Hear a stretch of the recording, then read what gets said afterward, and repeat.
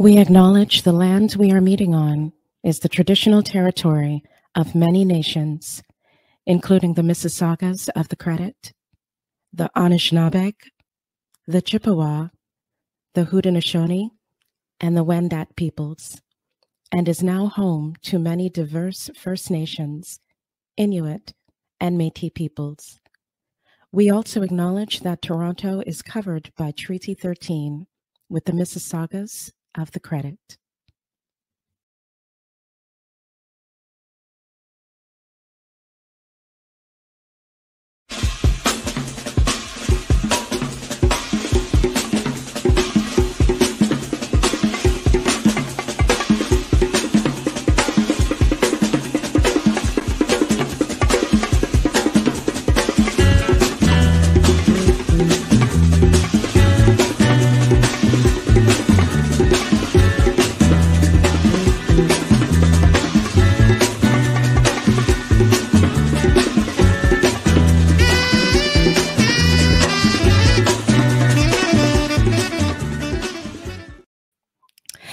Good afternoon and welcome. Welcome to all of you to today's panel discussion on racial disparities and how to implement change. I'm Nicole Hamilton. So good to be here with all of you. Now, in preparation for today's talk, many of us have heard it being said that the world is on fire. We've heard that being said.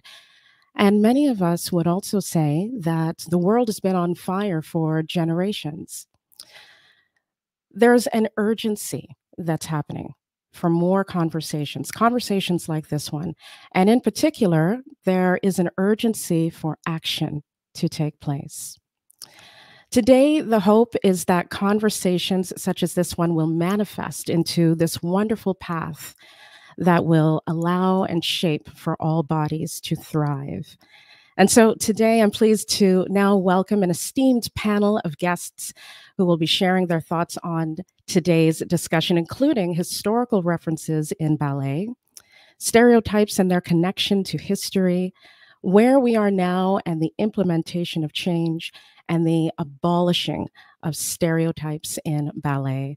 Please join me in welcoming Bengt Jörgen, Artistic Director, co founder, and CEO of Canada's Ballet Jörgen, Theresa Ruth Howard, founder of Memoirs of Blacks in Ballet, Barry Hughson, Executive Director and co CEO of the National Ballet of Canada, Mavis Staines, Artistic Director and CEO of Canada's National Ballet School, Tanya Howard, first soloist with the National Ballet of Canada, Chyrstyn Mariah Fentroy, soloist with Boston Ballet.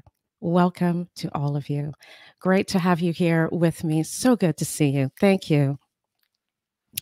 Now, this morning, uh, you will notice that Mavis is missing. Mavis will be joining us shortly. We're just having a technical uh, difficulty, and we are looking forward to having Mavis join us in just a short moment. But again, I welcome all of you to the table. Welcome to the conversation. This morning, I'd like to, do, or this afternoon, part of me, I'd like to start with placing the lens upon us as individuals. I've received many messages from individuals in anticipation of today's talk. Some who are viewing today have confessed that they are so hopeful. Many are tired, some are scared, and some have also confessed that they are extremely uncomfortable with having conversations like these. And so, to the panel, my first check, my check in this afternoon is how are you feeling in this current climate of racial disparity as members of the ballet world? Tanya, I would love to start with you. Welcome. Tanya, if you can share, please, your thoughts on how you're feeling at this time.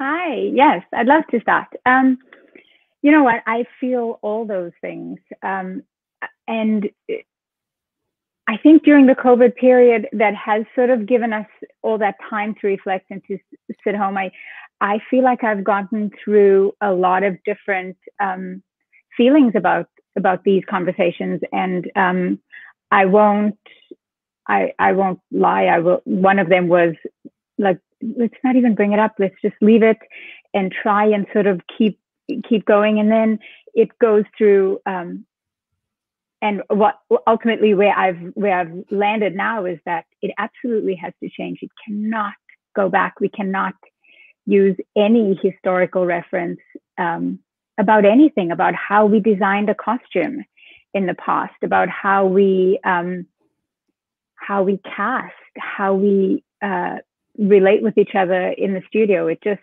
um, it just can't stay the same.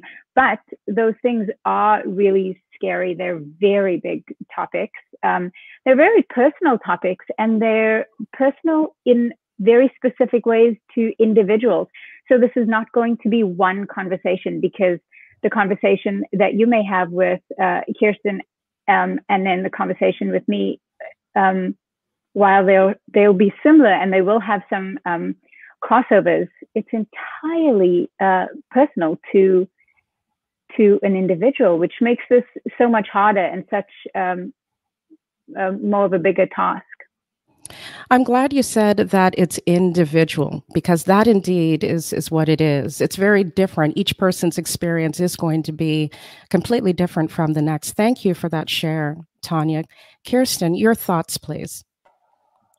I echo a lot of what Tanya had to share. Um, I too have gone through a variety of, of thoughts and emotions, and um, especially since mid May, uh, I feel like I have gone through moments of initially feeling afraid and frustrated and angry, then very, very hopeful, followed by again feeling afraid and and concerned that that that this change won't come and we can talk about it as much as we want but th- will the change come? But currently today i'm feeling hopeful and and in the past couple of days i've felt hopeful and encouraged that the work is true and it's genuine to the people that are trying to do it um, and i'm just happy that i can be a part of this moment and and use my experiences to help shape the experiences of those that come after me well said. Well said. It seems like it's this rolling ball um, for for all of us. For many, we go from that space, Chyrstyn, as you mentioned, you know, going from hopeful to to joy to peace, frustration, anger. So there's there's all of these different feelings that are arising for individuals. Thank you for that, Chyrstyn. Theresa, your thoughts. How are you feeling in this moment? There I am. Um, uh, again, we're all on this this roller coaster, um, especially in the states. Um, but relative to ballet, I have a I have mixed emotions. I mean, I immediately I say like welcome to the dance because this is uh, sort of a com- conversations and work that has been ongoing for many years now and has been sort of ramping up. And I feel that this sort of flashpoint that we're in currently, um, the combination of COVID and the BLM sort of protest um, sort of expanding um, has created a, an incredible opportunity for people to to connect with it in ways that perhaps they weren't before. Um, so it's for me, it's it's it's almost like um, an incredible opportunity and I feel like I want to like dig in right now and try to figure out a way to to maximize as much work as possible while we're in this incredibly um, vulnerable and and sort of like human space. Mm, indeed, and I've heard you say before, Theresa, moving things from the head space to the heart space many times. So that human, that human position is so key right now, especially as we come together to discuss this and dig in. Thank you for that, Theresa. Barry, your thoughts, please. Sure. First of all, thanks for inviting me to be part of the conversation. Um, I would say, um, you know, I'm I'm a white male. Uh, I'm American, uh, living and working in Canada. I feel more Canadian every day. Um, but I, I have uh, I've struggled uh, at times um, with feeling like I'm sort of the enemy in the room in, in this conversation, um, when in fact I, my intention is and has been um, to to help uh, support change in an industry that I love and an art form uh, that I also love. And so I've I've been working uh, to understand my place in that conversation and um, and my responsibility. Uh, and so that's been um, uh, obviously amplified in the last few months, but we've been um, at this uh, for a number of years now. And I think what feels different this time is that it does feel like, as an industry, there's a collective leaning into the work. Um, that we've been talking about this for years. We've been talking and talking and talking, and really, um, it's about action. It's about intentionality, um, and that's that's what feels different and makes me feel hopeful. Mm, yes, thank you. Thank you, Barry. Feeling like the enemy in the room. That's something that I often hear from individuals that come into spaces, in particular, white bodies that have been sharing with me over the course of the past many months that feeling of discomfort and feeling uh, the fear of being canceled, the fear of not knowing what to say. Thank you for being so honest in your in your share barry i do appreciate that Bengt. Um, I'd like to go to you, please. Thank you. Um, and I, I, would say that I echo both Theresa and Barry to some extent. Um, you know, one of the responsibilities that I have is, of course, to support our artists, and three quarters of them are of color. So the conversation internally has been very important to make sure that we are uh, responsive and that indeed we provide the kind of inclusive environment that we, we really want to and strive to. Uh, I think right now is a great opportunity for our uh, profession that I love, the art form, to make sure that we move forward um, for the sake of everyone, but also for art form. We need to make sure that change really takes place because we want to include everybody. We want everyone to be included. We want everyone to feel welcome. And uh, if we don't, we are not going to succeed to keep this art form vibrant and alive. So this is this is essential to us, and it is an opportunity for us to do a lot better. And I want to be part of that conversation. Uh, but as Barry, uh, you know, I am a white guy, and um, you know, I'm very aware that uh, I don't want to impose myself on the conversation. I want to be part of the solution, not part of the problem. Thank you for that. You know, one of the things as you were speaking that came to mind, Bengt, is there were students that wrote in in preparation for today's talk um, that were really concerned about the fact that conversations like this keep happening and change does not seem to be on the horizon. Because the big question is how do you change mindsets? That's what a lot of students have been saying. How, how do you change someone from recognizing that my body has no worth to recognizing that my body does have worth? How do you change a human being's mindset? So I thank you, Bengt, for that share. And I'm hoping that this conversation will allow for the arising of new thoughts and spark more thought for individuals that are watching today. Theresa, I'd like to come to you because many are saying that they want diversity in ballet. So, what is that? What is it that we should be talking about when we think about the word diversity? It's a good question. It's a tricky question. Um, and the more I, I I do this work, the more my sort of perspective evolves. Um, so you can look at diversity in a number of different ways, right? You can look at it in terms of um, nationality or ethnicity or or race. And so when we talk about diversity with the big D, as we are now, I think that um, most companies would say, "Oh, we're we're international. We have a lot of different people, types of people represented." But the thing that we can all kind of across the board agree is that that um, the number of black dancers and specifically black females, and if you want to drill down even further, black females of a certain hue are not represented. And so for my work, it, I'm, I'm very clear about how I'm addressing um, diversity um, because I think that there are totems of um, you know levels of diversity that are represented. For instance, um, we do see a high level of of Asian dancers from different countries represented in companies around the world. Um, not enough, but they are in high ranks all the way through companies. You also see this with Latinx dancers. They are they're uh, they're usually found in companies. You might find maybe one, two, maybe three, and again higher in rank as well. Um, and that's you know the tradition of, of Cuba and the tradition of Brazil. A lot of dancers are coming out of those those countries. Um, however, for the the the black dancers, it's it's it's they're not the numbers are not equal to the, the way that we are represented in a number of these countries. Um, and so for me, I'm very specific about when I'm talking about diversity in terms of Black dancers and diversity, you know, as a whole. So then in that case, one of the things that I'm looking forward to discussing is that representation of Black dancers in particular. We're going to be discussing that in uh, during the course of today's talk. Thank you for that share, Theresa. So then, Barry, how does what Theresa said resonate with you? What lens are you looking at diversity through?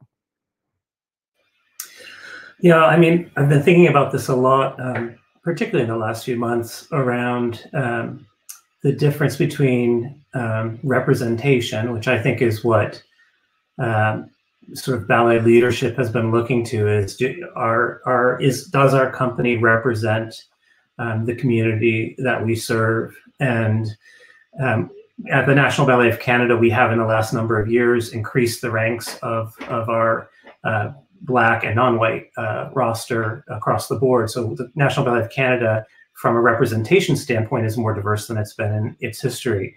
Uh, but what, what we've really learned over the last number of months is that representation is not enough. It's really about um, the lived experience of, of walking um, and living through this organization. Um, do people feel uh, respected? Do they feel safe?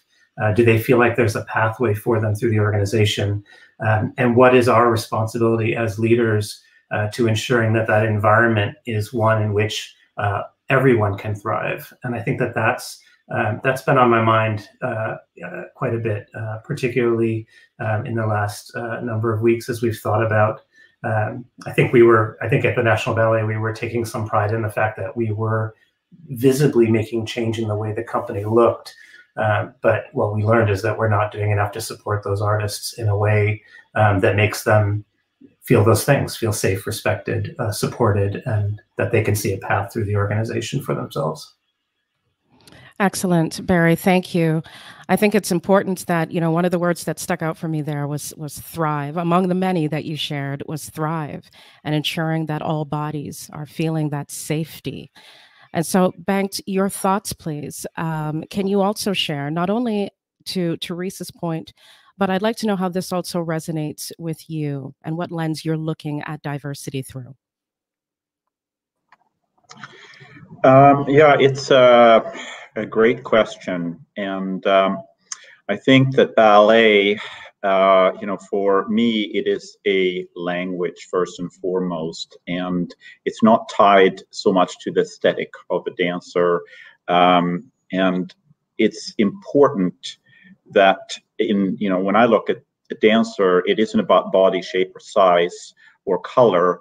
It's about how they dance, and I think that we need to focus. You know, it's my personal belief, but it's one that that I'm steering my company through.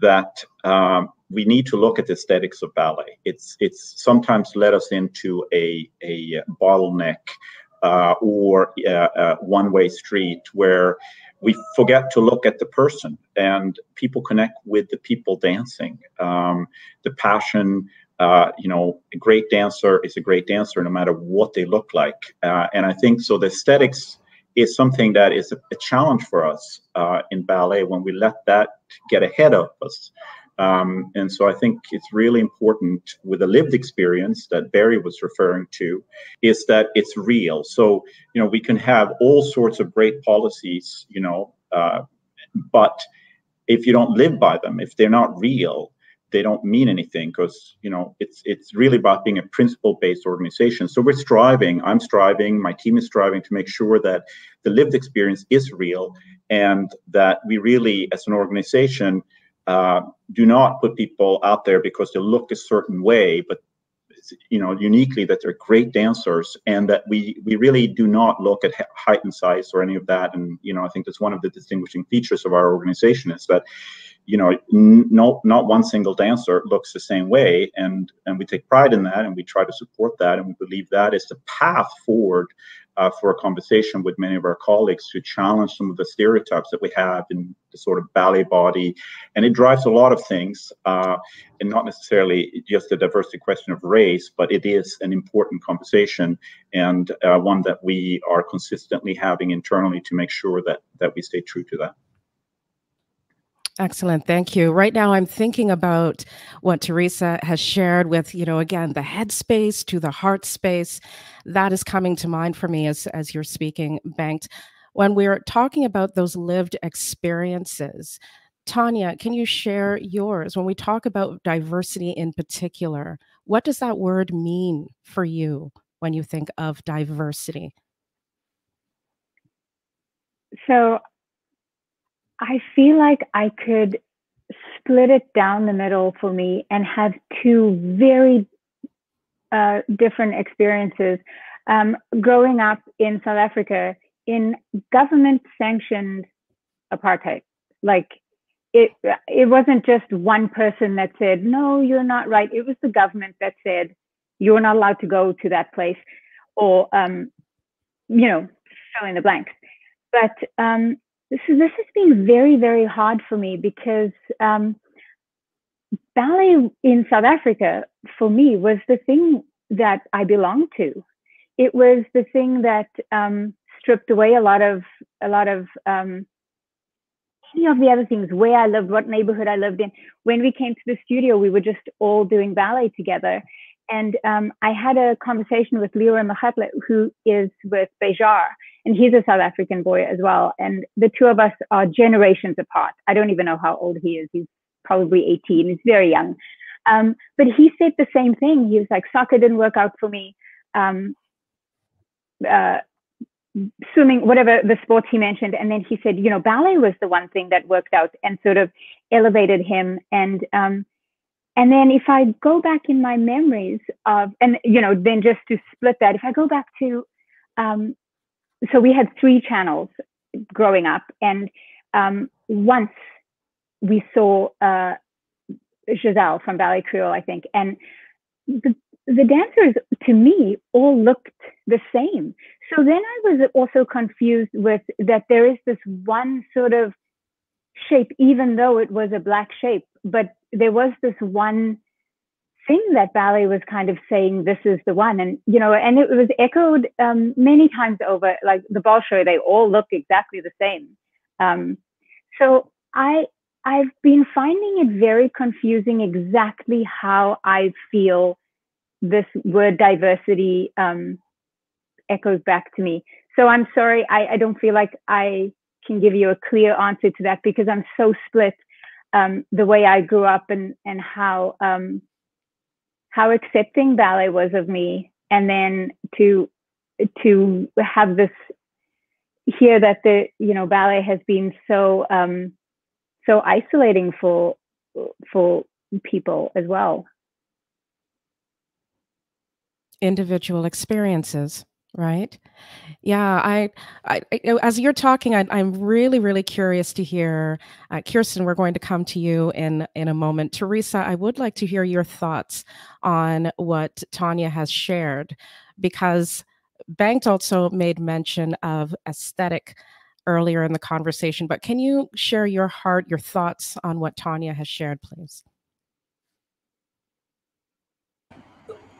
I think it's I think it's interesting because there there are at Tanya as, as you were talking, I wrote down that oftentimes the culture of ballet um, overrides other things, right? So the culture of of ethnicity or or or even national nationality, right? Um, I think that sometimes when you ballet is an interesting animal because if you fit inside it right, aesthetically, right, to jump off of what Bengt is saying, then your journey through it, your pathway through it differs from someone who perhaps doesn't fit as nicely in, in, into it, right? And so, so this is what makes this conversation about um, inclusion. Let's let's even take diversity off the table. Just talk about inclusion in the art form.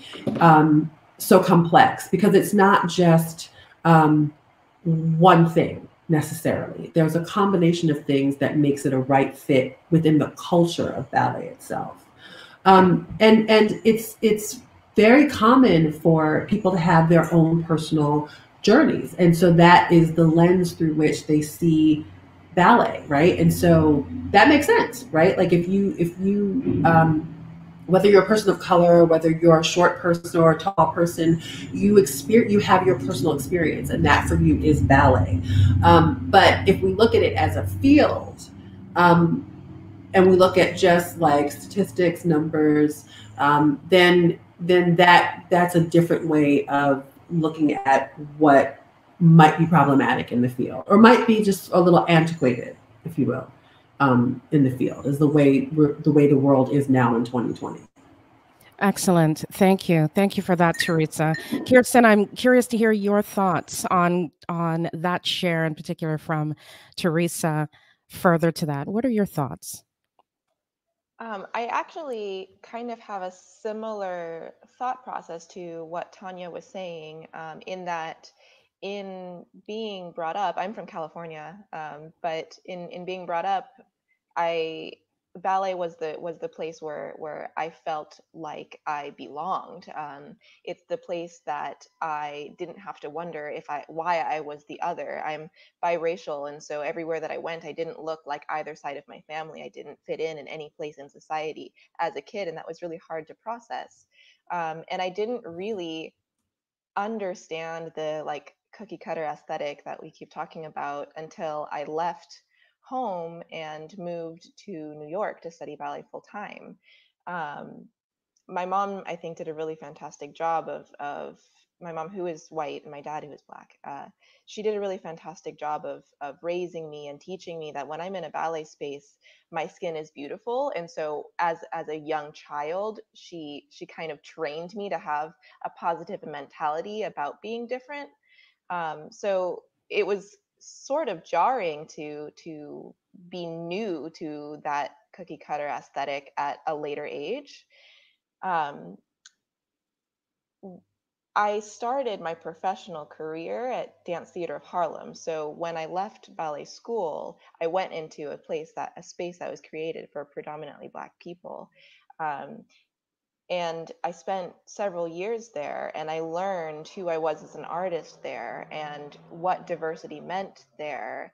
And in taking that knowledge that I got from that space and moving into Boston Ballet, which is more predominantly white, um, I sort of got the understanding that, in my perspective, diversity is representing every person that could walk down like a New York City street. So having anyone that is able to identify with someone that is on stage, um, whether that is someone that's Black or whether that is someone that is Latinx. Um, so just circling back to like the the what diversity means to me, um, I that that I guess would be my answer, but it's really hard to say, and I think um, so much of it has to do with what is included in the spine of whatever ballet institution you are in um, and and making sure that everyone is incorporated in everything that comes out from from the spine outward and is not like a patch that's put on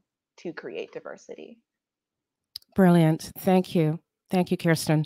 Um, you know i nicole can i can i can i say something really quickly about dance theater harlem? Please do.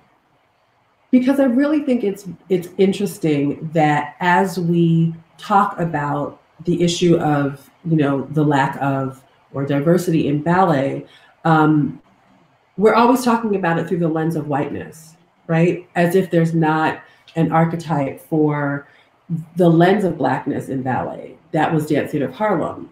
And so um, you know it's like you know ballet wants to act like it's creating the wheel with this idea of, of inclusion but we already have you know the blueprint for creating a space like this, and that is Dance Theater Harlem.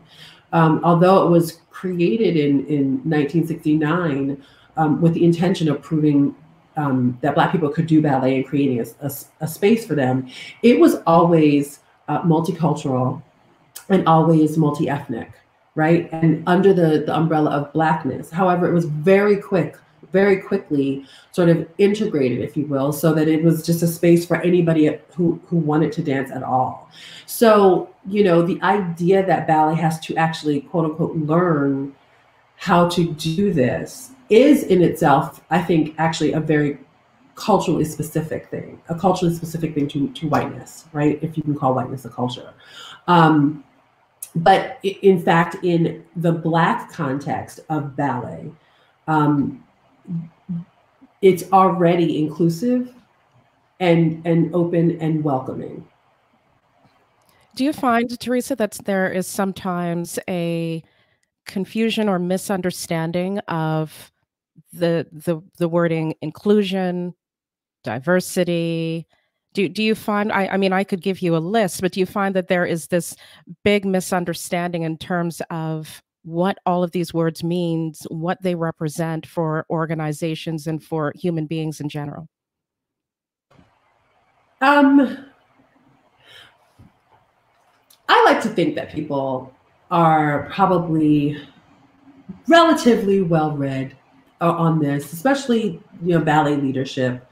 I don't. I think that sometimes the splitting hairs about not understanding um, what we're actually talking about is one of those things of like, well, are we talking about diversity with a big D or small d, right? Like, are we talking specifically about what we're lacking most? Are we talking about the the the the the idea of what ballet in fact is? right? Like what makes up ballet? Is it pink tights? Is it a smooth bun? Is it white skin? Is it the aesthetic, right? That's the thing that we have to interrogate. And it's the hardest thing for um, artistic directors to really sit down and open up about like, what are we actually talking about when we say, you know, um, the aesthetic of ballet? Because that is not a fixed and stayed thing. That is something that is that has evolved through through time. So, you know, it's a question of what you're holding on to and what is what the what is the essence of the form itself and i think that if we can all agree about what the essence of the form is right it's the movement right the technique itself then we'd be having a very different conversation Ah, okay. So don't move because I need to stay on this and you for a moment, Theresa, because you you come to us with a very unique perspective. You reside in the US, you've worked around the world, including ballet organizations here in Canada. In a discussion prior to today's panel, you were noted as saying we need to shift the culture of ballet so that we can feel good there and inhabit space there to be our authentic self. So, then if we're talking about the culture of ballet, then how does history and aesthetic play a role in that culture? And I'm coming back to that as well because I heard uh, Bengt, you mentioned that word aesthetic as well. So, talk to us about that, Theresa. What is the culture of ballet? How does history and aesthetic play a role in that? And Balanchine comes to mind as you are speaking. So if you can share, please. I mean, history was very interesting. MoBBallet did a symposium, and one of the, the panels was about the implicit bias in, in dance history curriculum. And Adesola Akinleye, Dr. Adesola Akinleye, um, posited that the purpose for history is actually um, propaganda and programming it's to to to you know create the context for you know who we are you know where we are um, and i think that ballet does the same thing right i think that we hold on to the ideas of um, I, I, look at like a molecule like the the art form is the nucleus and then things attached to it and we re- we begin to recognize it as a very specific thing um, and we and there are are uh, gatekeepers to keep the quote unquote purity of it. But if we're actually honest that about it, dance is always evolving and it's always um, accommodating um, the next thing, right? So, like Balanchine decides that he wants a small head and long limbs and a short torso, and everybody goes, "Yeah, we respect him and that's the aesthetic we're going with and then it gets extrapolated from there you know but we're still kind of on that same um, through line because we as a value system of ballet respect Balanchine right? And so it's a very very narrow lens if you will. Um, and so I think that history is a very narrow lens right? Because it's you know written by the victors and it's highly edited and it um, is generally uh, scribed through the lens of whiteness, you know, and so a lot gets left out, um, including the fact that that not only Black people but people of different races were participants and contributors um, to the molding of the form. I don't know if that answered your question. oh, it does. It does. Thank you, Theresa. And also for those of you who are listening and watching, we would love to receive your questions as well. Please do submit them. Feel free to comment your questions. We will try to get to as many of them as we can within the time that we are here together. So thank you, Theresa, for that share. And we now welcome Mavis. Mavis, we had some technical difficulties, but we're so pleased that uh, Mavis is joining us now. Mavis, welcome to today's talk. Thank you.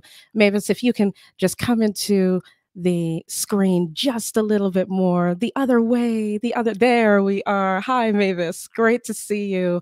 We're sorry that you had some technical difficulties but we welcome you to today's talk.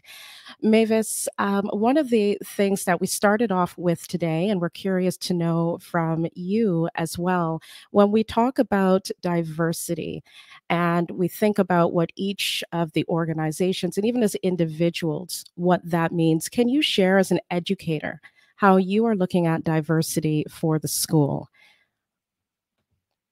And if you can take yourself off mute, Mavis.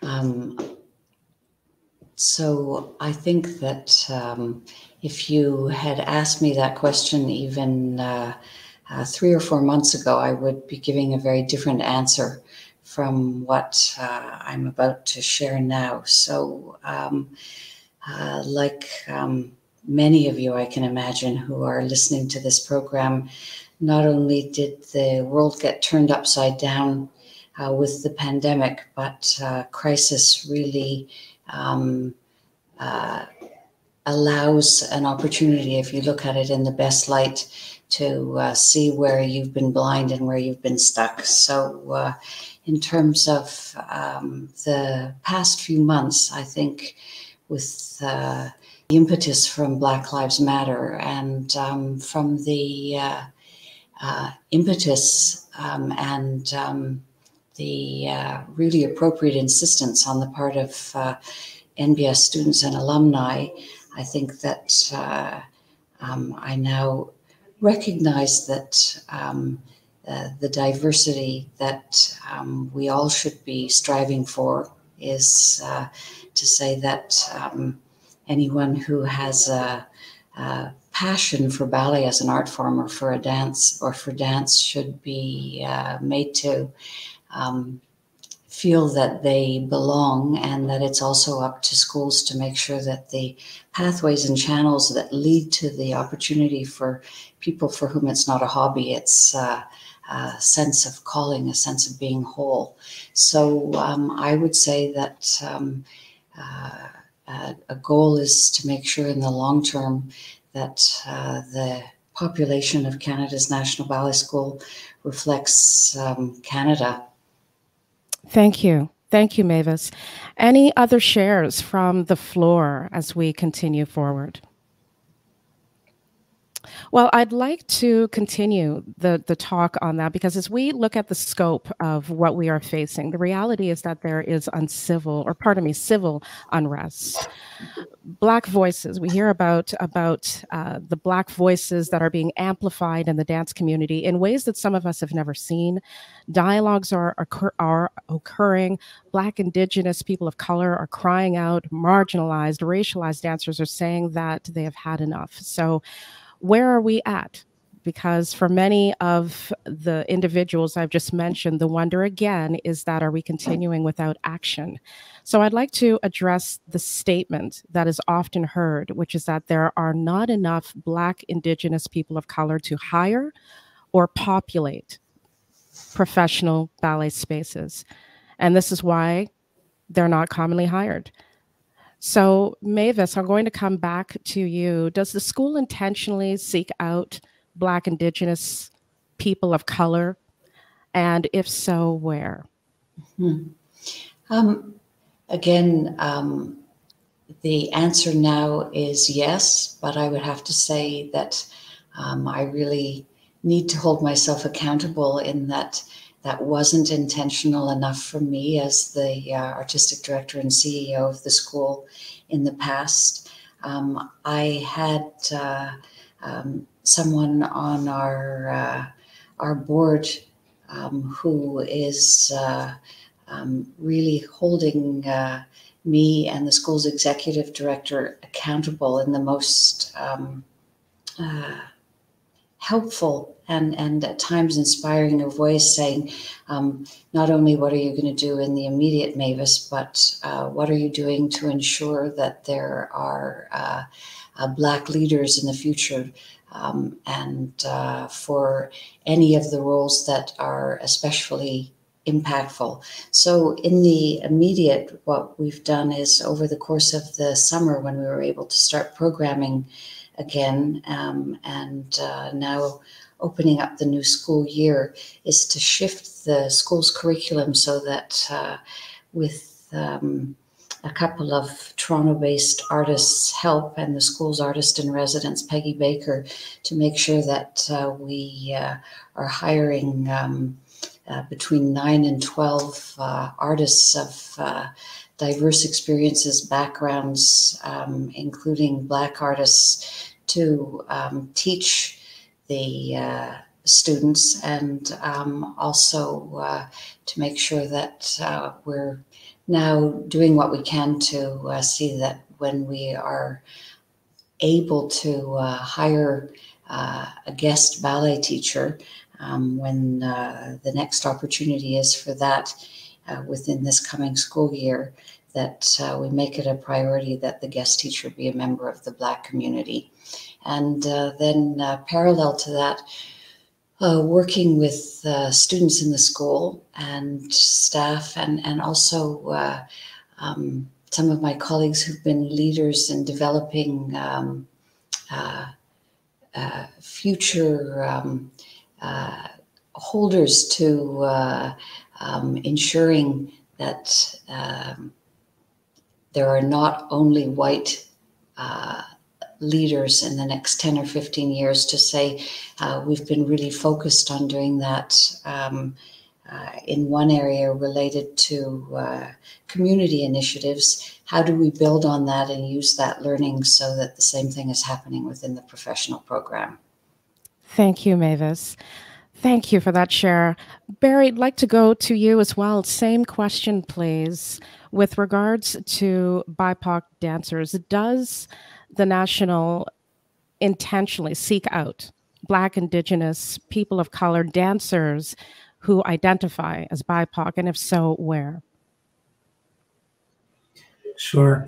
So uh, the National Ballet of Canada actually um, is blessed to have a, a, fairly low turnover from year to year. We have about 80 dancers in the company. Uh, and on an annual basis, there there is turnover in the apprentice program, which is in, and intentionally a, a two-year program. So dancers who are uh, invited into that program are here with us for two years, and then they either have to get into the company or they have to move on. Uh, and so we see some turnover there and opportunity there. Um, and in the main company, um, which is the bulk of the company, um, there's there's very low turnover. So change, uh, quite frankly, is slow because of that. That uh, because people tend to come here and stay here.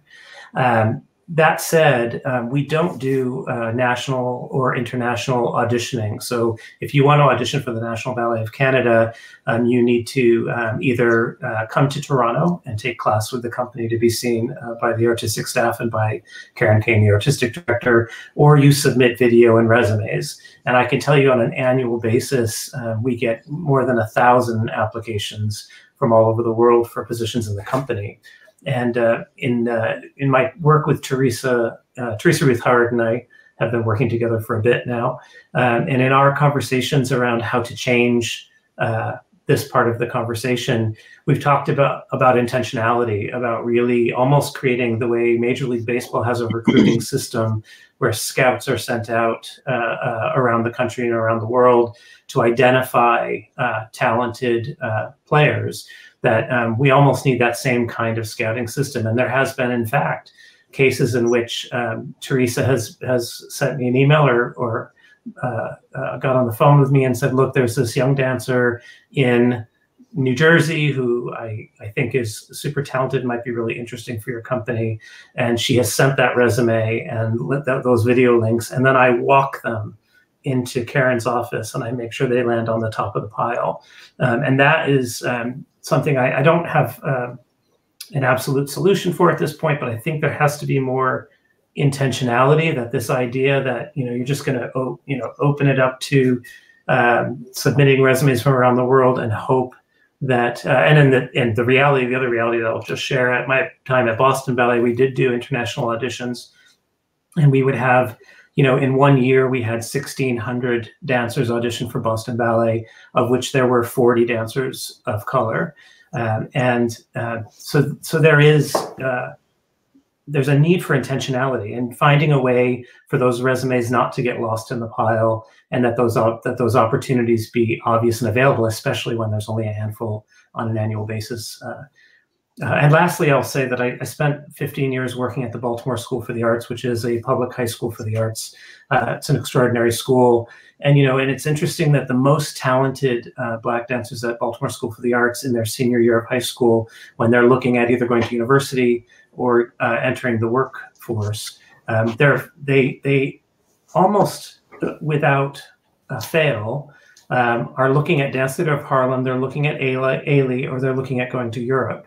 And um, and I spent a lot of time with those dancers. You know, Jackie Green, who's a, an incredible star of and Ailey now, is a graduate of the Baltimore School for the Arts. And I remember when she was a senior, I had long talks with her about where do you where, where do you see yourself? What do you want to do? And she just didn't see herself in a historically white ballet company.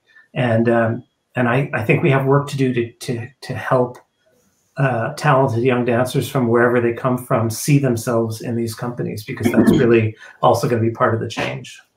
Indeed, indeed. Thank you, Barry, for that share. Bengt your thoughts. I saw you nodding about. Your thoughts on the same question, really, with regards to BIPOC dancers. Are, are you effectively getting out there and seeking out back BIPOC dancers? Pardon me, and if so, where? Well, we're in a, slightly different boat than the National Ballet and some of the other companies. Over 50% of the people that apply to us are not white. And as I said earlier, right now, 75% of our dancers are not white. Uh, and I, But I think to Theresa's point earlier, you know, there are a lot of, of, well, not a lot, but an increasing number of dancers from South America and Asia and, and many other countries with diversity, but there are not as many black dancers. And we have had it sometimes up to 45% of our dancers being black. And, you know, that for a while and then it disappeared. Uh, and we have not directly, intentionally been seeking out uh, dancers, partially because a lot of the dancers that, that do audition for us are of color. But we do sense uh, and, and, really believe that we have to work uh, in underserved communities where ballet may not be as well known. So our focus has really been to ensure that our art form goes out free of charge and that we have education programs free of charge in communities that normally don't have access. I think what we have thought about, and this has really come out of a conversation with our dancers, they, they really feel that we need to do a better job of helping young uh, kids of, of diverse colors, uh, black, uh, brown, um, to find a path into our field and that we need to do more work at the very beginning. Uh, you know, usually we we wait till people come to us and we usually, even in our education programs, we are partnered with George Brown College. It's a post-secondary program. So by the time people come to us, their path has already been chosen to some extent. So, you know, where we're going to direct more of our efforts is to try to partner with, we have about 400 schools across Canada that we partner with. We are going to try to work harder to try to find ways to support those schools uh, in getting more kids of color into their programs at the early stage and then support so that they'll have a path through to the National Ballet School or other professional dance schools or, you know, through the schools they're with into professional career. So we think we can do a better job than we've done. We have not intentionally been seeking out dancers. To your question, do I think that there are enough biracial dancers to fill ballet companies? Yes, I do. Um, I think coming back to the core problem is the aesthetics uh, and the culture. Culture is very hard to change. Uh, it's easier for smaller companies like ours that are built from from the ground up. We can, you know, we we reflect the societies that we grew out of. You know, older ballet companies they have uh, many more things to carry with them, and it's always hard to change culture. So I feel for them, and I I, I really want to support them in their in their work to change this because I think the change of culture is the key to to improving uh, this this issue. Thank you. Thank you, Bengt. Yes, the, the question surrounding Black, Indigenous dancers of color has come up extremely often as we approached today's talk because it's it's heard and it's said so often that they are not black and black indigenous dancers of color are simply not hired because they can't be found and in particular for ballet. So I think that's why it's especially important that we open up and really dissect what that means for dancers who are seeing that, experiencing that, and really concerned about that that aspect. So I do have some questions that I'd like to address the panel with that have come in. Thank you to all of you who are listening and watching. We are really appreciative of your comments. Candy asks, traditionally, male dancers of color have made more headways in ballet companies around the world than ballerinas. Can the panel discuss why the aesthetic of the ballerina has not welcomed Black women in numbers and only marginally recently? This is a question from Candy. To the panel, can any of you answer or share your thoughts on that question, please? So I'll, I'll jump in. I'm not an artistic director, so just to be clear. Uh, so I'm speaking just from my own experience uh, as a former dancer and uh, someone who loves the art form.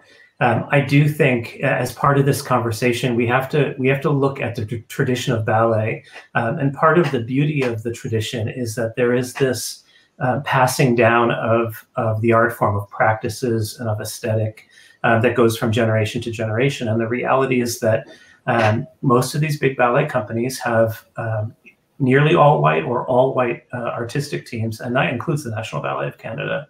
Uh, and I do think uh, we, we have some work to do, first of all, to have those artistic teams better reflect uh, the dancers that they're facing in the room. And we have a, a, a, wonderful artistic team at the National Ballet of Canada. They're, they're talented and they bring a great depth of experience to their work and to our artists.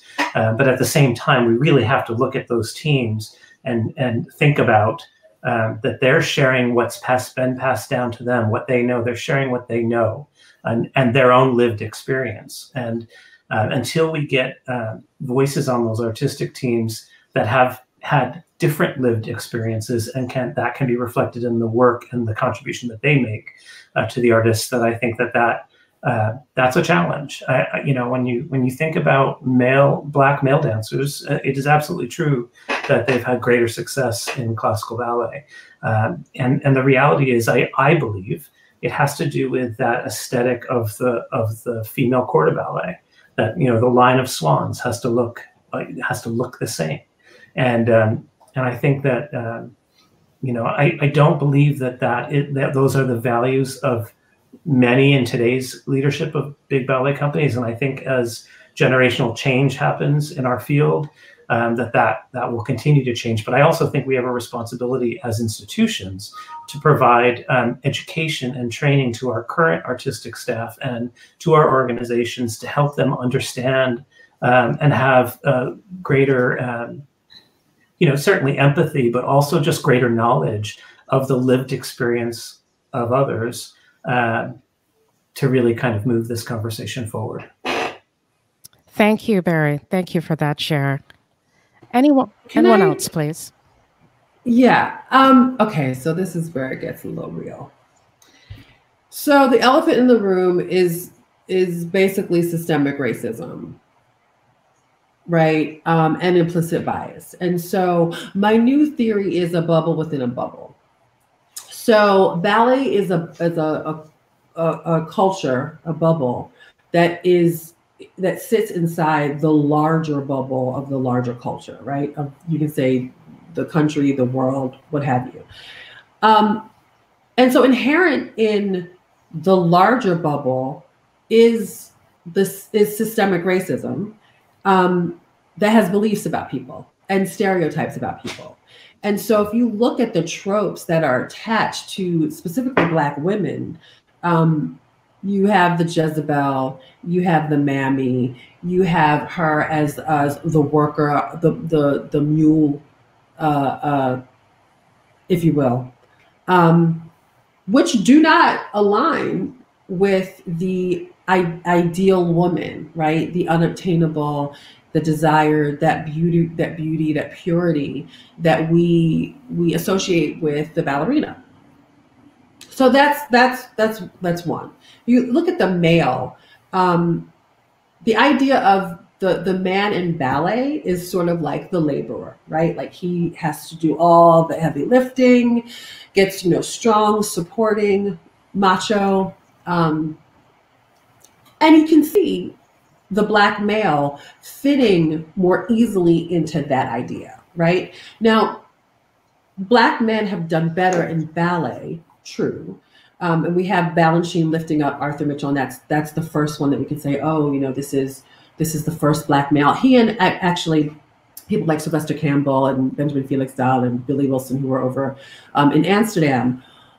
But um, the idea of the black man of as the prince or the cavalier is still not really as easily attainable as a black man as a principal in a role that is not in that classical you know ballerina prince sort of those roles. So i think that there are other things.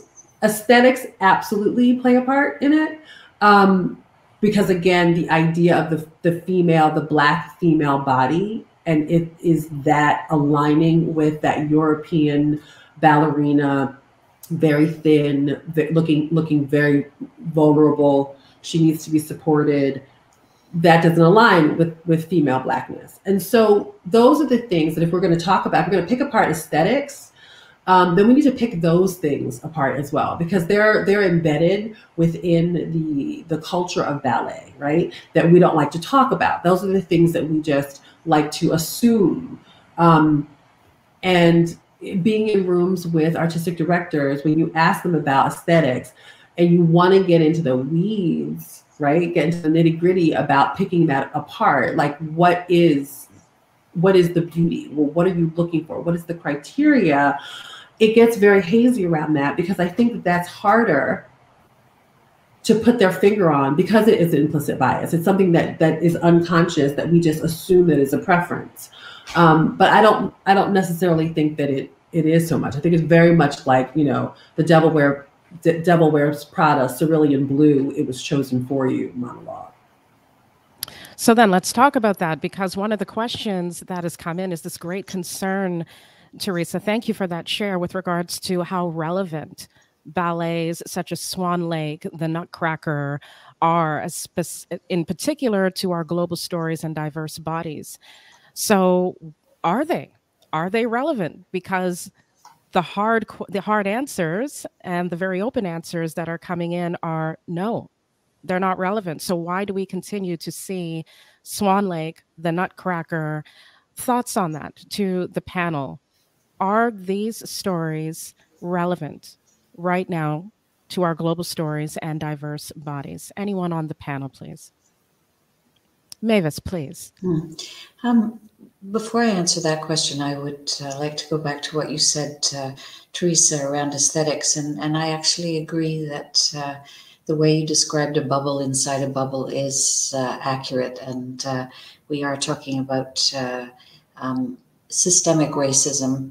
And um, I think that uh, we're letting ourselves off the hook if we say that, uh, um, especially those of us with the privilege of leadership positions and who have had the ease and privilege of uh, being white in a, a, white supremacist society, that um, this is something where we can actually uh, um, uh, have people around us to to push us to say, uh, are we um, making uh, uh, people of uh, different races, especially Black people, feel comfortable right from the moment that they get interested in ballet and in how they see themselves in, in different environments.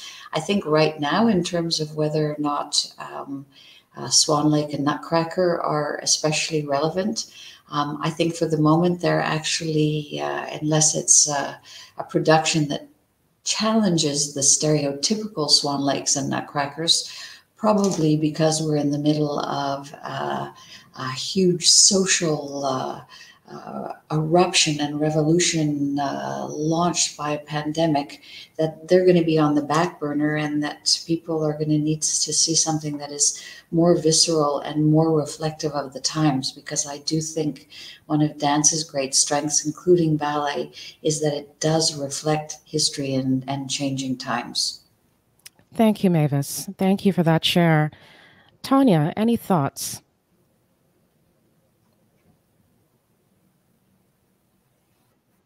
Um, I'm I'm really looking forward to talking to Theresa more um, through the National Ballet because uh, there are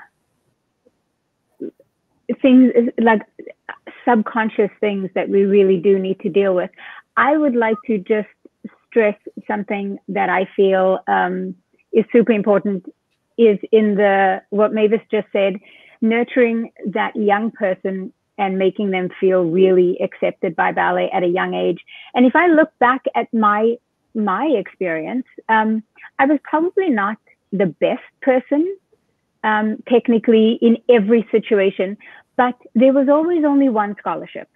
So maybe I ticked all the boxes in enough of a way um, to fill that one scholarship. So if we can just keep making many more opportunities um, because if I think back to my grade 12 class, the number of white dancers was quite high, but the number that turned over into professional dancers, not so much.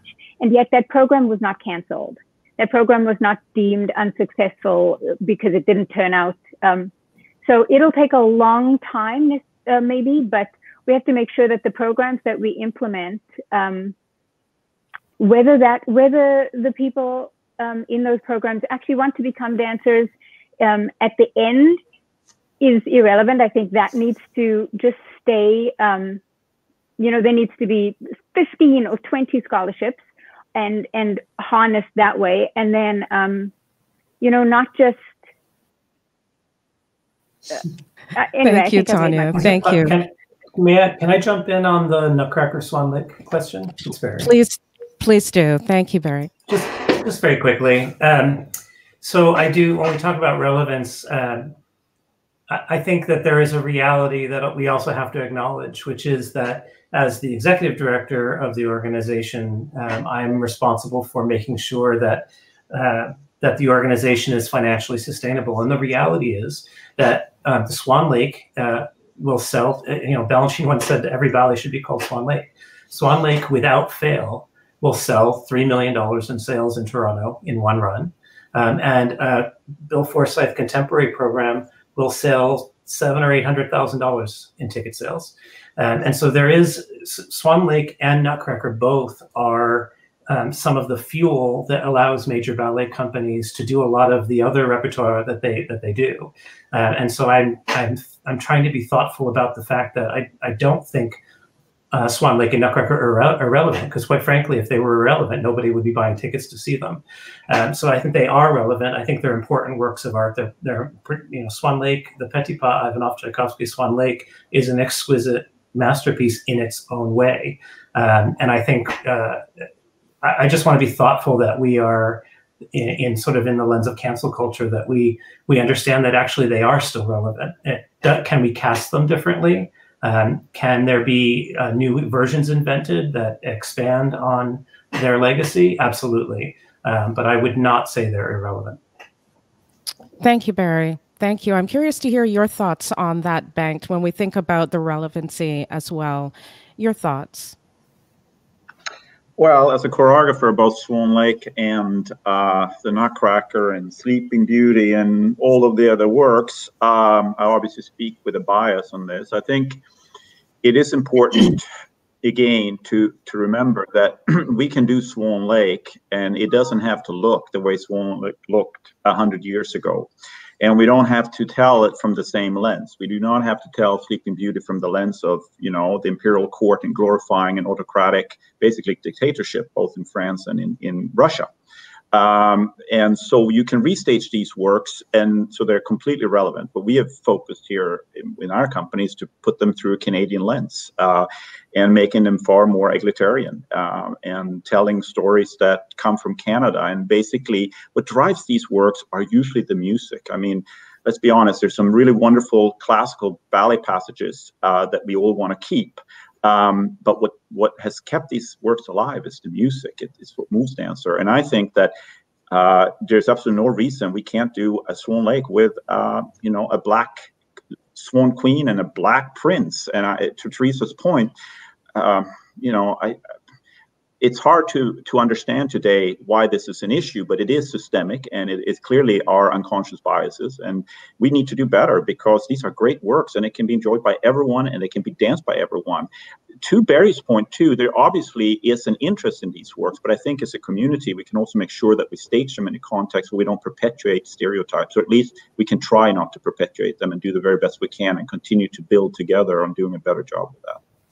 So that's what I have to say as obviously somebody that has a bias for these great classics. I think they should be shared and seen by as many people as possible, but in a context that does not perpetuate stereotypes, and we have to work on that. Thank you.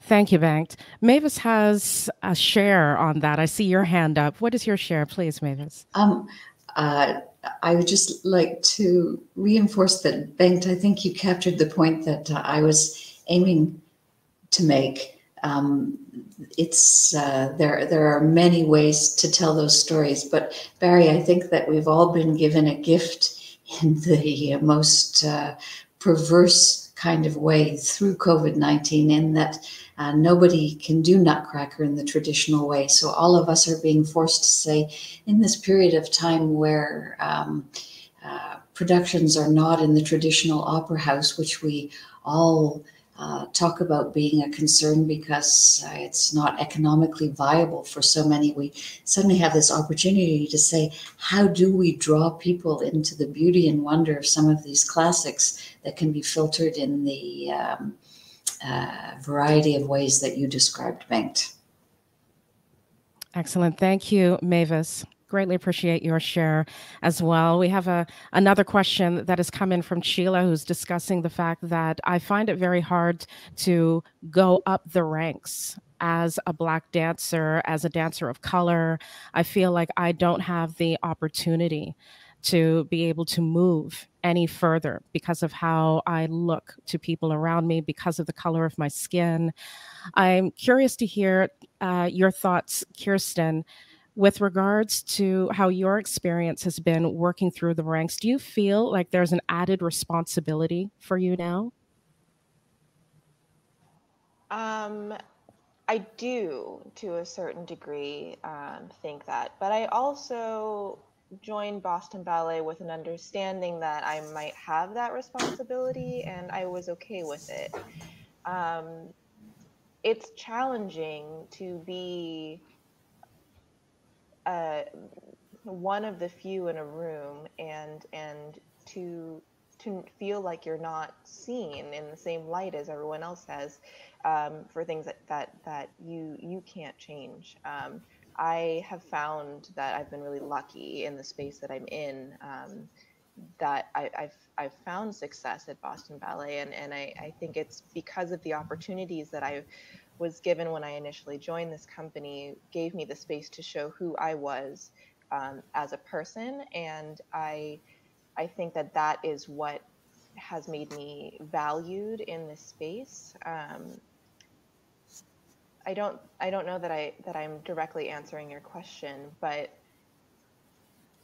I'm not sure. No, I appreciate your share because it's coming from an honest place. I think this is something that has been a, a difficult um, share. And when I again reflect back to the individual who's asked it, going up the ranks, living within the ballet space, the dance space has been challenging. So, what does that look like when I feel like I'm the only one that looks like myself in the room?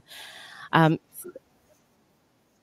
yeah, and I think that there there is definitely like that level of responsibility when you when you are the only person in the room that you are not only representing yourself as an artist, but you're representing what can feel like your entire race or your entire culture.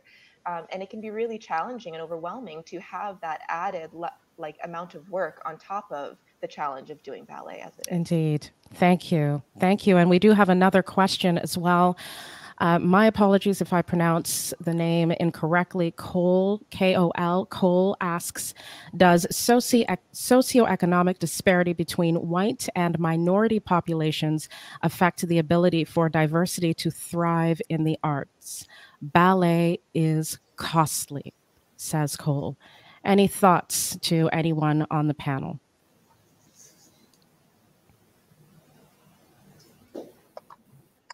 Um, I'll, I'll, start.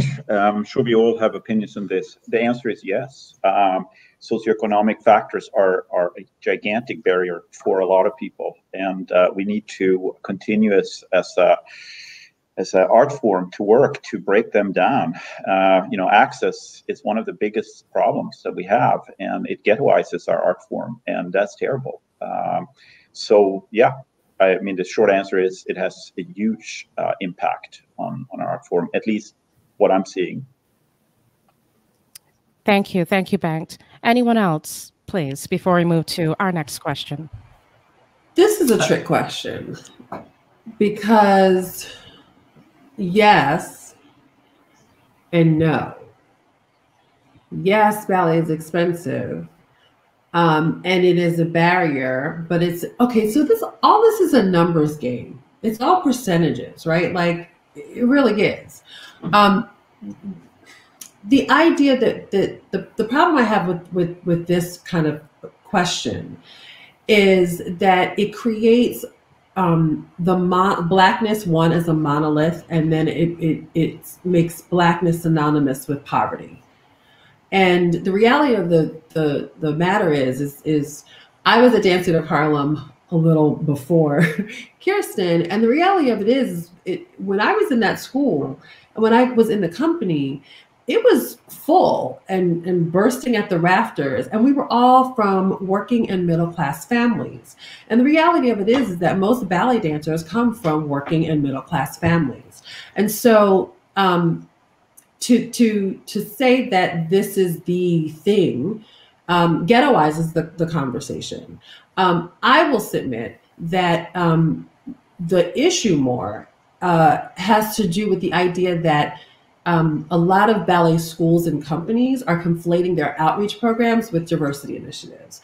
And whenever they're talking about, you know, wanting to diversify, they're looking towards the the part of the black community that is um, in the most economic crisis right? And the reality of it is is ballet is a middle class um, art form right? It has it it the structures of family need to be such that you know you can cart your your your little one to and from you know ballet school somebody you can need a babysitter. There's all those things that we know right? So the idea of, of saying that oh we're going to focus our attention on the underserved or uh, you know underrepresented.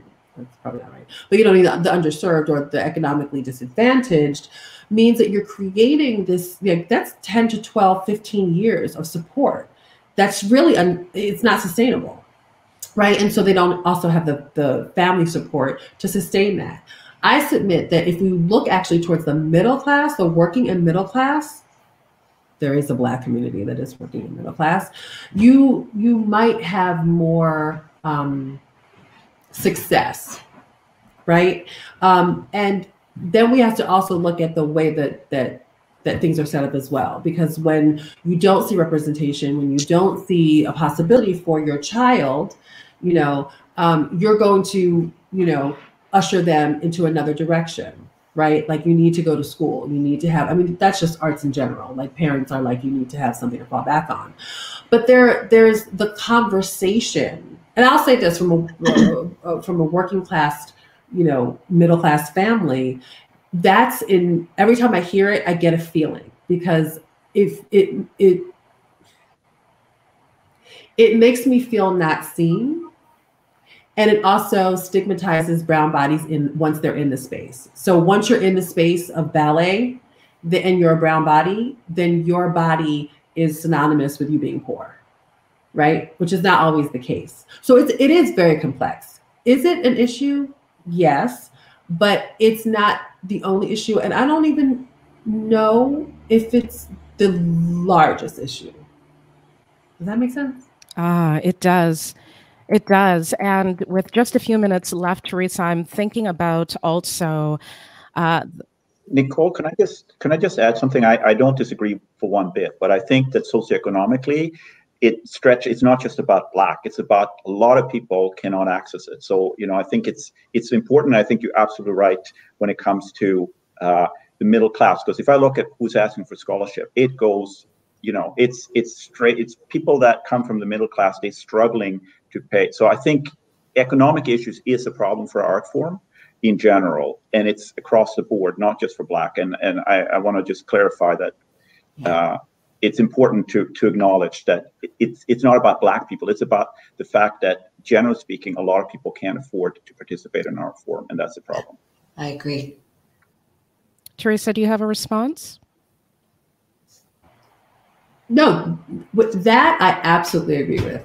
You know, but I think that when we when we attach that to the lack of people, you know, in the form that's where it gets a little that's where it gets a little dodgy. It's the same thing that goes in again, it's like the stereotyping that goes into like, oh, we have to teach them how to appreciate the art form.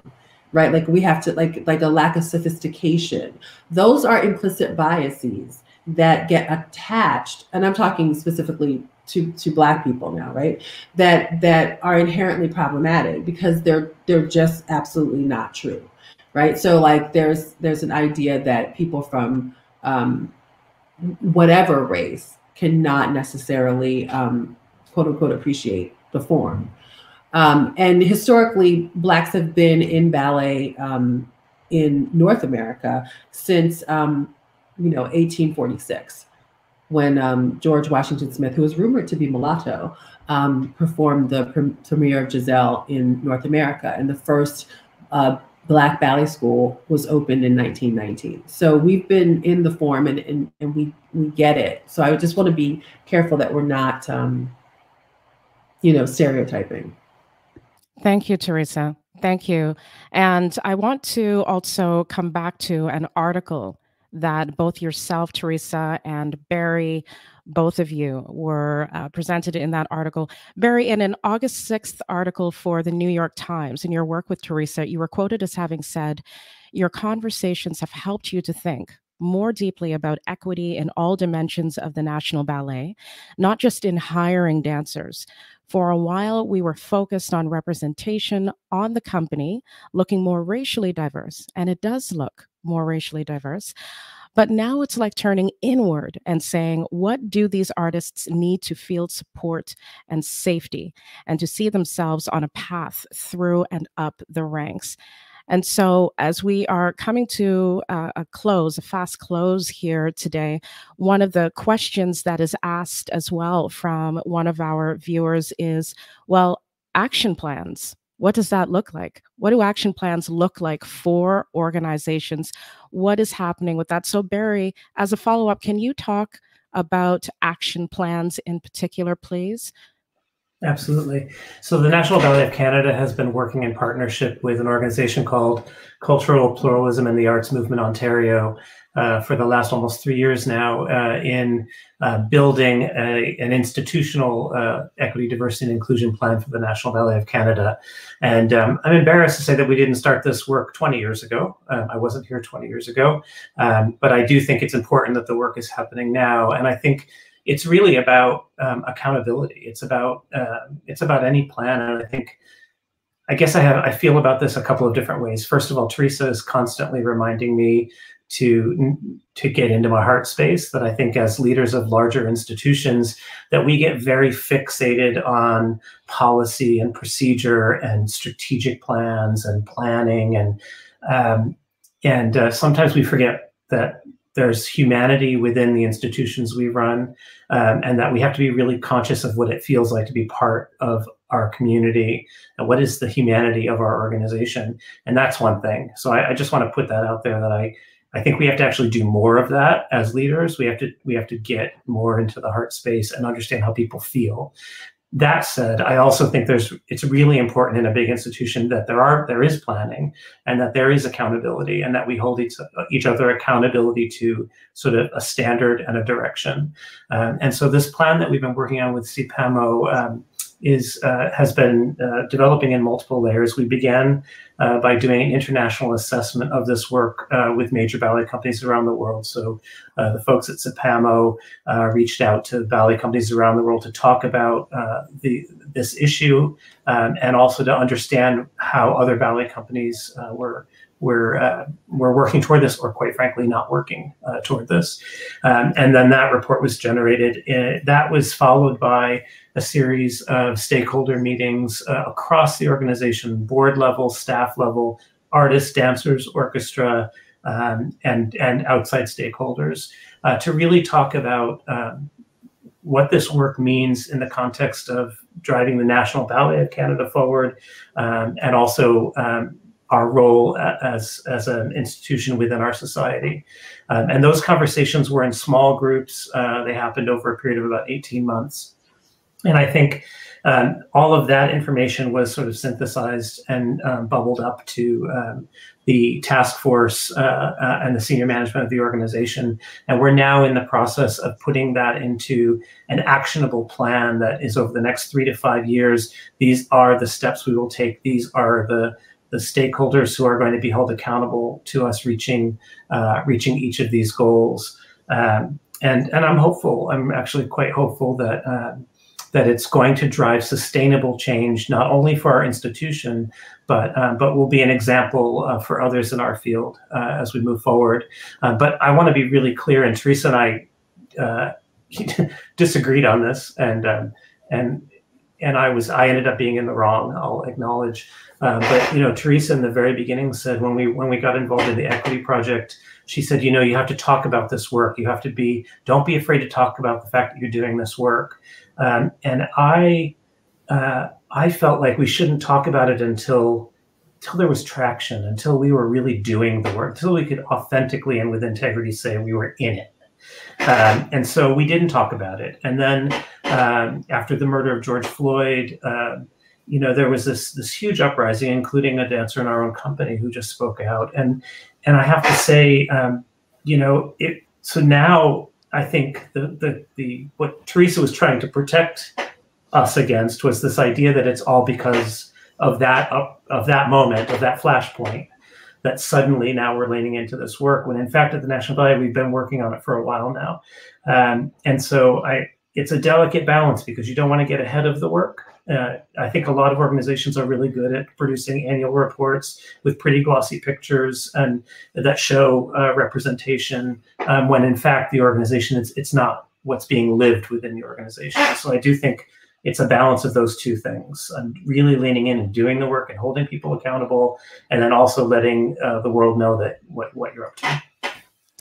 Thank you, Barry. Thank you for sharing that. And we are coming to a close. I, I do wish that conversations like this could continue on for, or at least this live could continue on until midnight because there's so much that uh, that we can share today. And one of the things that we really wanted to address, actually, before I do that, I just want to come back to a point that Barry made mention of. You mentioned CPAMO. For those of you listening and watching, that is the Cultural Pluralism in the Arts Movement Ontario, CPAMO. So you can check them out at CPAMO, that's C-P-A-M-O dot org for more information. And Theresa, I wanted to go to you right now because as we look at action plans implementing change, you had put together the 12 steps to ballet's cultural recovery. Can you share where that can be found for individuals? Uh, and I know that we may not be able to go through all of those steps today, but it's really, I think, important that individuals know where it can be found. Right now, you can find it um, on my Instagram feed, but I will post it on mobballet.org. It's, it's something that was um, that I created for a, a keynote um, speech um, at the Positioning Ballet Conference in Amsterdam for the Dutch National Ballet, and then sort of like reworked it as as as I got more as I dug deeper into the work, and it's it's just for me. I, I entered this work through the diversity sort of lane, but that led me to really look at the broader issue of the actual culture of ballet. So, like, if we it, again, the bubble inside the bubble, right? So the diversity issue is a bubble that's inside the the issue of the culture of ballet itself. Um, and and there are other issues that ballet has, you know, um, that that we we have the opportunity to um, to start to adjust and and really interrogate um, and and and find solutions to because these young this younger generation that's coming up they what they require is is vastly different than what my generation required or the generation before me. Um, so yes, I will post them on mobballet.org. Thank you, Theresa. You know, reading through those 12 steps was just jarring, really, and so key to see words like admit that ballet has a problem and that our culture has become unmanageable. That's one of the, the steps that you had made mention of in uh, the 12 steps to ballet's cultural recovery. The second being imagine imagine pardon me examined past errors associated with institutional racism and white privilege and make amends for them and in fact i'm getting the go ahead to go over by a couple of minutes I, i'm hoping that that is okay with the panel is that okay with all of you Yes, I'm putting you on the spot. Thank you, because I think it is so important to address these 12 steps. So, Theresa, I am going to come back to you, please, and ask you if you can, in fact, make mention of those steps at this time, please. Um, oh, wait, I have to. Okay, so we've got you on mute. Oh, thank you. um, I have to pull them up because I don't actually know them by heart, but I actually, you know, I have I have a I like to think I have a wicked sense of humor. And that's, that's okay. We have them all ready awesome. for you. And so. and when I um the work reminded me of being like in, in, rehab, you know. So I I looked at the 12 steps for for Alcoholics Anonymous and I was like, well wow, this some of this is actually applicable in a way, you know, because we do have to kind of reform ourselves. Um, and so so basically it steps through some of the things that were that that had been identified as issue. Of course, the first step is like realize that you have a problem, um, and it it some of them go through you know like analyze um, heritage, traditions, artistic standards of of aesthetics, which we all talked we talked about in as as as uh, issues that we need to kind of address but just formalizing them in into some really key bullets that everybody, you know, leaders and organizations or or and ballet organizations, whether that's companies or schools, can begin to kind of like create a checklist for themselves. Like, are we doing this? Where do we stand on, on these issues? Um, I just think it might be helpful and it might also create, um, a, you can see it as a tool um, that we can use to communicate right across the field. You know to say where are we? When we ask like make amends. You you have to acknowledge you're inviting people in now But you do have to acknowledge that they were excluded because um, going back to, to Barry and what he said about what I said about transparency is, you know, there's an inherent lack of trust, right? An inherent lack of trust baseline between Black people and white people, which is historically founded, right? And that bubble inside a bubble thing, it, it extends to ballet. And so, you know, as a Black person, I will say, I want to see your work to know that that's authentic right? Because white people are constantly going into a back room and, and powwowing with themselves. Sorry, that's probably not the right word to use. Caucusing with themselves, right? And then coming out with a construct and being like, ta da, don't you want it? Don't you love it? And Black people are supposed to accept it. And that's inherently problematic. So I think that building trust is about allowing us to see your hands while you're doing the work because usually they're up to a magic trick, right? And so it's a, I, for me it's it's it's key. You know, if people understand you and understand what you're doing and why, they can be more accepting, right? And understanding if you falter because we understand what you were what your intention was.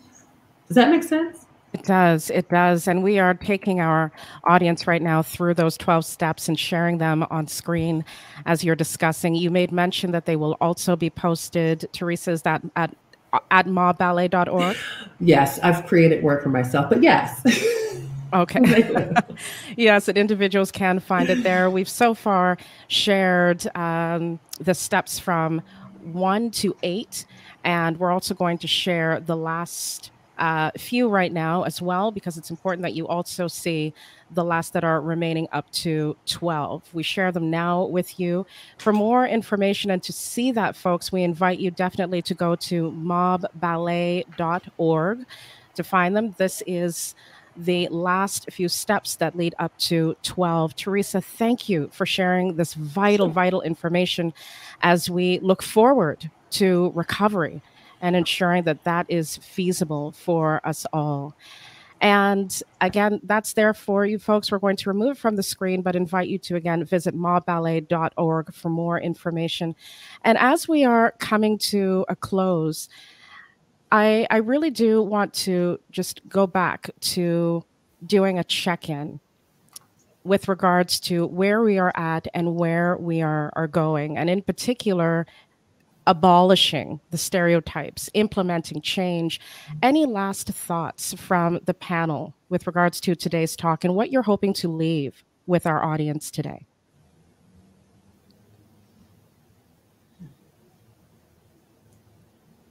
Mavis, please do share. Mm. Um, I think uh, uh, a couple of things that, that struck me. One is uh, uh that um, we need to make sure that this is not a, a hit and run endeavor, that this is uh, um, a lifelong commitment from generation to generation. And I think that takes very realistic measurements um, and uh, you know measured against those 12 steps, but to be constantly taking the temperature and have people saying, are you just paying lip service, service to this or is there evidence to the change? Excellent. Thank you. Thank you, Mavis. And to the rest of the panel, any last shares that you would have to that point? We do have questions that have come in from viewers, listeners who've asked, Where do I go? What tips do I have? Or, pardon me, what tips are available? Um, questions from individuals asking, like Victoria, I teach dance to many children. What tips? So, where can individuals go? We've provided what I believe is a great resource, which is this talk. Uh, any other tips and suggestions? Theresa, your share, please. Yeah, I have. Um, I created. We just completed um, the MoBBallet uh, virtual symposium, and I uh, generated a resource guide that is also on uh, MoBBallet. Um, and so you can find that under resources. Oh, that's where I'll post the 12 steps. There you go. So there's great readings, and it was crowdsourced. Some of it was from the Equity Project, some of it was from the um, participants um, of the symposium. And so that will be a growing sort of um, repository for information. Excellent. Thank you. Yes, because that is a common question. Kristen as well asked, What can I change in my practice as a ballet teacher to make BIPOC students feel welcomed, loved, and cherished in my studio? So thank you to each of you for sharing those questions today. It's imperative that they keep coming. We invite you to continue to keep asking them. To Tanya, Chyrstyn, your thoughts as you leave with us today, please. Um, I, I know that we've had some questions as well coming in for the both of you. We have some fans that have been saying that we're so curious as well to hear the thoughts of these dancers as well and and how they face and how they look at diversity, inclusion, and more. Any thoughts from either of you, please? I'll I'll just say quickly. I think um, this is fairly new for me. I'm of the generation where um, we used to have our teachers tell us, "Leave your personal stuff at the door," and before you come into the studio. And when we come, you know, uh, when we're in the studio, it's just ballet. And it's very um, hopeful that that has changed and people are um, free to say how they feel um, openly. And one of your one lady was just asking um, how she can make her her kids feel loved and um, just natural human. Nobody needs a different thing. Everyone needs to belong to something. Everyone needs to feel like they have a purpose. Um, these are just basic um, human interactions that don't don't um, are they're not divided by by anything. Um, maybe that's what I wanted to say. I, there was one other thing. If I remember it, I'll pop. Thank you, Tanya. Thank you for your share, Chyrstyn. Your thoughts, please. Um, I just want to encourage all of the dancers of today to not be afraid to speak about what it is that they might be feeling in if they feel like there might be some sort of discrimination or there might be some sort of bias that is there against you um, because i think a lot of a lot of things change if you if you speak up about it i've, I've had instances where where where people had assumptions about um, how I should wear my hair on stage or something like that. And it wasn't until I opened up the conversation that that that that space to make that change was there. Um, but directly to the question about teaching students, um, I would just say try to find a way to make your space more accessible to all of them. And I mean that in saying, you know, speaking of hair, um, if you if you have a, a, young black woman that has hair that's textured differently and doesn't go up into a bun.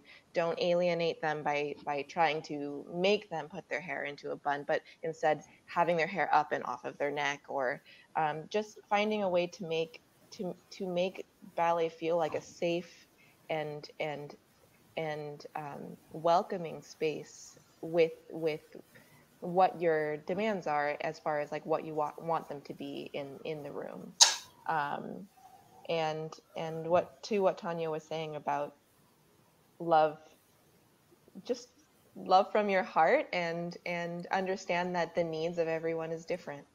That's all. Indeed, just do it, right? just love from your heart. Thank you for that, Chyrstyn. And to those of you, to Barry, Bengt, Mavis, any last shares, Theresa, last shares that you would give us before we leave you today?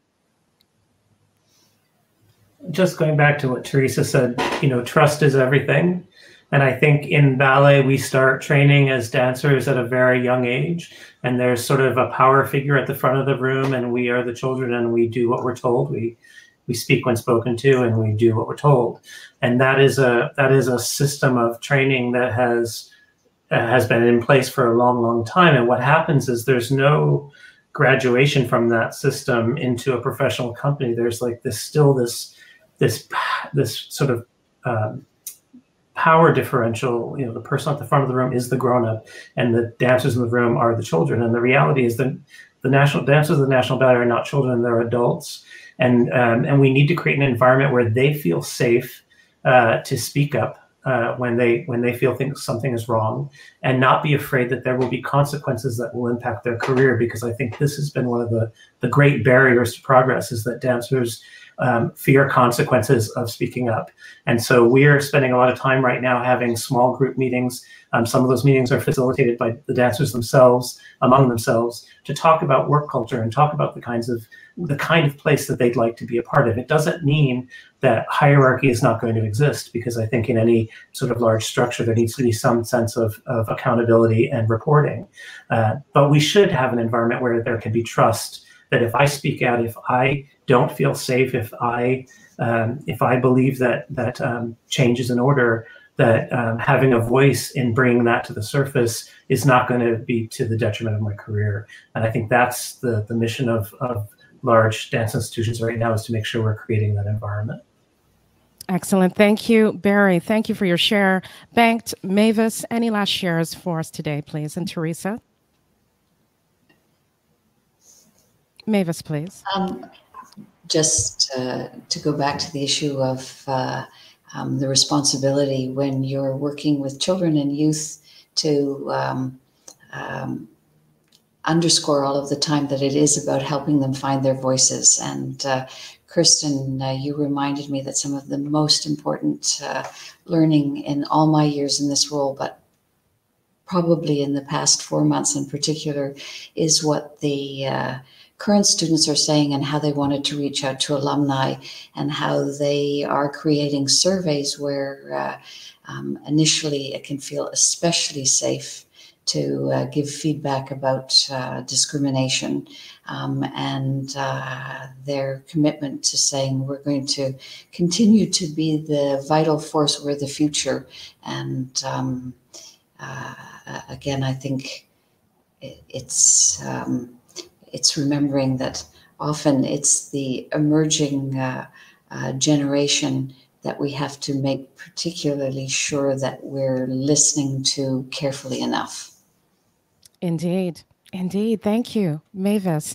And Theresa, I think I saw you raise your hand just a second ago. You did? I I did. I mean, I this is this is what's interesting is that like um I think that out of this terrifying sort of period of, of time, um, what will emerge is that we'll have a new paradigm, right? For at least, at the very least, for communication in um, in the ballet world, right? Like we, are having dancers um, who before had been infantilized, right? Um, stepping up and feeling empowered and creating sort of um, a level playing field for leadership and dancers to speak on an equal um, as humans, right? Like this is my experience. This is how you make me feel. I acknowledge that. Like that is something that didn't normally happen, right? And and not, you know, unless it was in a company meeting and that's a hierarchical sort of situation. So uh, that's really exciting for me, and it, it, I I feel very positive about sort of, sort of some of the cultural changes that already have begun to um, to emerge. Um, and then finally, I think I'd say that, um, you know, uh, writer Nicole Hannah-Jones um, of the New York Times, and she uh, created the 1619 Project. She says um, this is, you know, systemic racism, racism is a system that it took centuries to build. And so it's not going to take just 10 years to dismantle. So the idea that everybody has to realize that this is this is a long game. This is a marathon. And um, it's going to take time and it's a constant learning. So, um, sort of infusing your your thought or whatever that is with sort of empathy and compassion for the process, um, I think is is it will be helpful because people have to be allowed to fail if they're going to succeed. And you know, so we don't want you know, white guys like Barry feeling afraid in spaces because we need them to be able to be them full their full selves, right? In that space. And and there needs to be an allowing um, for everybody to to to grow and get educated and learn and evolve together. And so that's that's sort of my my my hope. You know, um, it will ebb and flow and and and that's that's the process of growth. It's it's going to be a little messy, but I think it'll be worth it. I think so too. It's going to be messy. It's going to be uncomfortable, but it is certainly worth it. To all of you, each of you, thank you for your voices. They are so needed and greatly appreciated. We have so many comments and messages of thanks that are coming in from so many. Thank you to you, Bengt, Theresa, Mar- Barry, pardon me, Mavis, Tanya, Chyrstyn. Your voices are, are just incredible. Such a pleasure and an honor to sit down with all of you today. Thank you again to Canada's Ballet Jörgen for inviting Turnout Radio to partner on today's talk. And for more on the panel discussion, contact Ballet Jörgen at marketingassociate at balletjorgen.ca. And for resources, you can also contact turnoutradio.com. My thanks again to each of you, Tanya, Chyrstyn, Barry, Bengt, Theresa, Mavis. I look forward to seeing you after the talk and having more discussions like this one. To our listening audience, your time has been so appreciated. We thank you as well for joining us today. And we invite you continue to keep not only the conversation going, but put action into place. Grateful for today's discussion. I'm Nicole Hamilton from Turnout Radio, looking so forward to sitting down with all of you again. Bye for now.